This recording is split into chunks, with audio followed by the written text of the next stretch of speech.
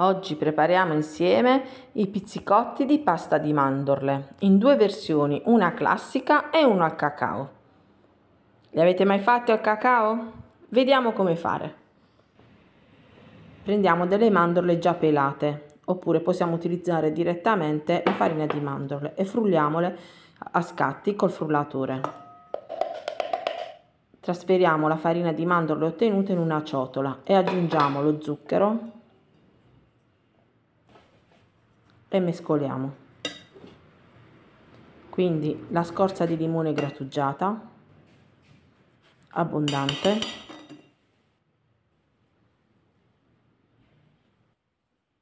Qualche goccia di aroma mandorla se avete le mandorle amare è meglio. E gli albumi leggermente sbattuti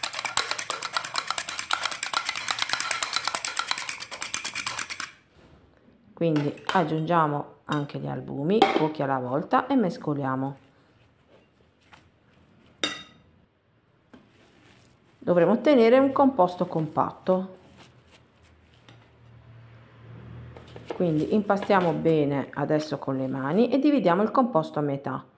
Lo stiamo dividendo perché ne faremo una parte al cacao.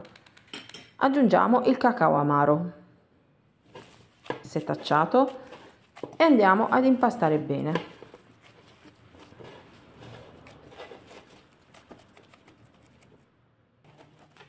quindi copriamo con pellicola trasparente e lasciamo riposare in frigorifero per almeno mezz'ora, un'ora, meglio se tutta la notte. Riprendiamo il nostro impasto e ricaviamo delle palline e andiamo a tuffarle nello zucchero a velo. Ricopriamo con abbondantissimo zucchero a velo e trasferiamo su una teglia ricoperta con carta forno. Così. Quindi abbondante zucchero a velo. Facciamo lo stesso con l'impasto al cacao. Quindi realizziamo i nostri biscottini cercando di farli tutti della stessa dimensione e dello stesso peso.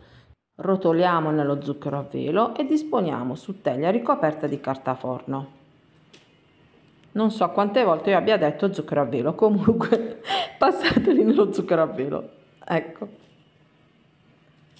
Così. Quindi adesso li lasciamo riposare per 5-6 ore, meglio se tutta la notte.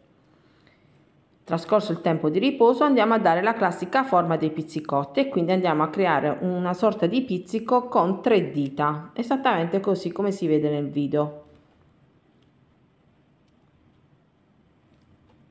Quindi inforniamo a 160 gradi per 10-15 minuti. Naturalmente i tempi di cottura dipenderanno dal vostro forno, quindi controllate sempre a vista. Quindi in forno. Ed ecco i nostri pizzicotti cotti, pronti per essere disposti su un piatto di portata e serviti.